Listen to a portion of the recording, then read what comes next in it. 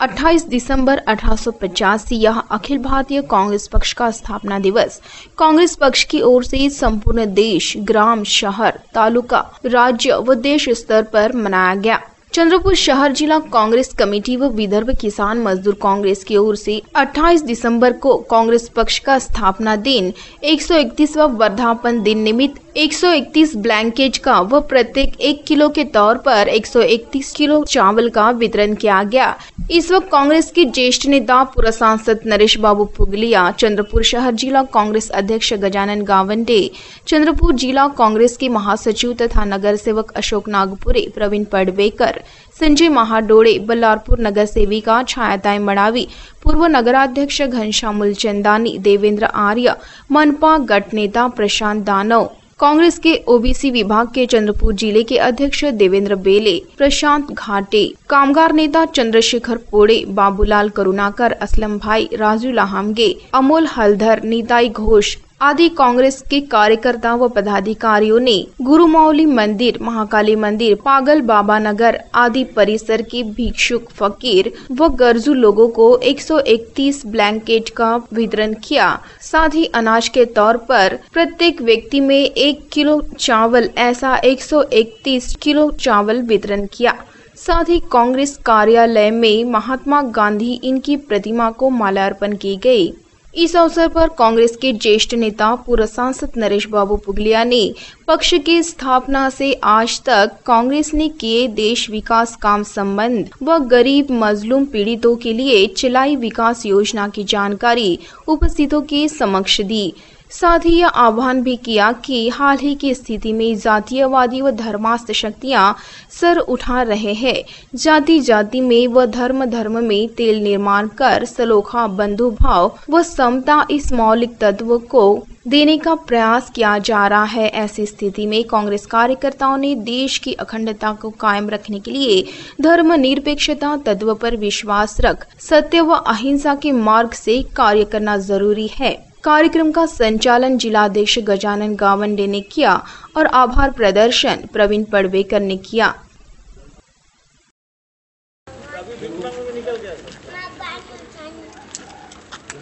रहे हैं इनको दे दो चार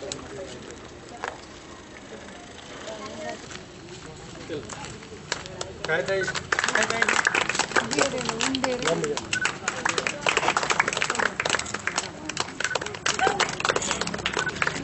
अब देखो सर मांगने उन्हें गए हैं इधर कहाँ है?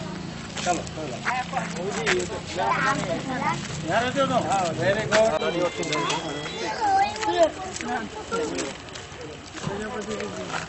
अरे गिर गया गिर गया। डाल दे रहा हूँ? जी कैसे भाई क्या चांगलं तुझा तुझा तुझा हेच टाका बाई चांगलं ये बच्चों को डालना है पैसा दे दे डाल दे डाल सेट। बाल बच्चे ठंडी में अरे चलो। अरे बस। बस। मेरे को तो शहर जिला कांग्रेस कमेटी चंद्रपुर तथा विदर्भ किसान मजदूर कांग्रेस। इनके माध्यम से कांग्रेस का वर्धापन दिन आज बड़े धूमधाम से मनाया गया। कांग्रेस को 130 साल पूर्ण होकर एक से 131वें वर्ष में कांग्रेस ने पदार्पण किया है। देश की नहीं विश्व की सब में पुरानी और बड़ी पार्टी है। और कांग्रेस के माध्यम से इस देश को आज़ादी मिली है। कांग्रेस के माध्यम से पंडित जवाहरलाल नेहरू जी से लगाकर तो डॉक्टर मनमोहन सिंह जी के रेजिम तक के इस देश में जो भी विकास हुआ है, उसमें मैक्सिमम बड़ी योजनाएँ कांग्रेस के समय आई हुई है। आज देश बड़े तकलीफ़ के दौर से गुजर रहा है। देश में जातिवादी शक्तियाँ अपना सर उठा रही है। ऐसे हालात में कांग्रेस के कार्यकर्ताओं से अपील करता हूँ कि मिलजुल कर इस समस्या का मुकाबला करें और ये कांग्रेस लोकसभा और विधानसभा के चुनाव के बाद हमारी ज़रूर हार हुई है उसमें।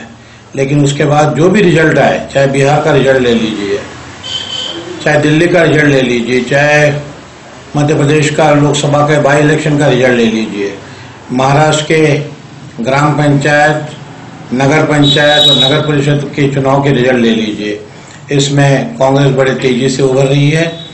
दिल्ली में भी बीजेपी को मात करके दूसरे पार्टी ने सत्ता अपनी, अपने हाथ में ली है।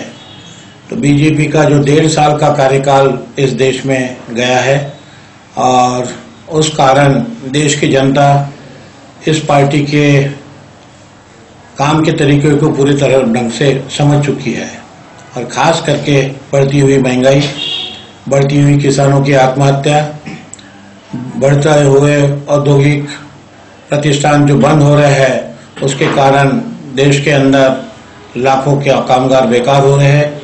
ये सब समस्याओं को लेकर आज देश का व्यक्ति हर भारतीय चिंतित है।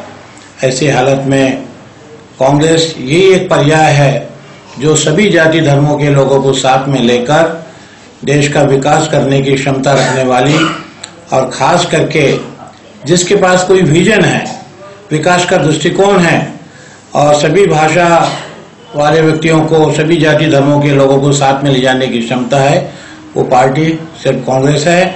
मेरी आज के वर्धापन दिन के शुभ अवसर पर कांग्रेस के कार्यकर्ताओं से अपील है कि मिलजुल कर इस समस्या का मुकाबला करने के लिए और कांग्रेस को मज़बूत करने के लिए हम और आप मिलकर आगे बढ़ेंगे। उसी प्रकार से देश के अंदर सभी जिलों में तालुका लेवल पर और ग्राम लेवल पर बड़े धूमधाम से वर्धापन दिन मनाया जा रहा है। चंद्रपुर शहर जिला कांग्रेस कमेटी और विदर्भ किसान मजदूर कांग्रेस की ओर से आज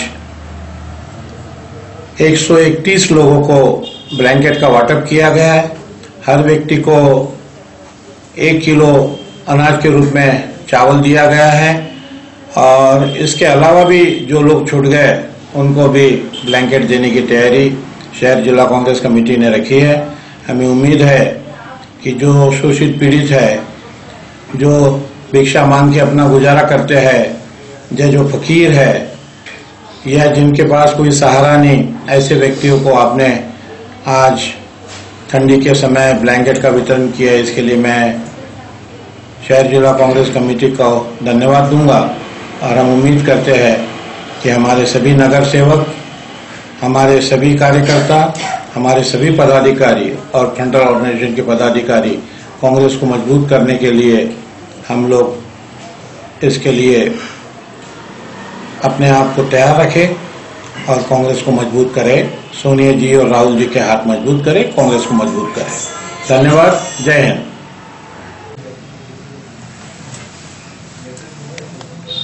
अठ्ठावीस डिसेंबर अठराशे पंच्याऐंशी हा काँग्रेस पक्षाचा स्थापना दिवस. आज काँग्रेस पक्षाच्या स्थापनेला एकशे तीस वर्ष पूर्ण होऊन काँग्रेस पक्षाने एकशे एकतीसाव्या वर्षामध्ये पदार्पण केलेलं आहे. आणि आज चंद्रपूर शहर जिल्हा काँग्रेस कमिटी व विदर्भ किसान मजदूर काँग्रेस यांच्या वतीनं चंद्रपूर शहरातही काँग्रेसचा एकशे एकतीसावा वर्धापन दिवस साजरा करण्यात आला.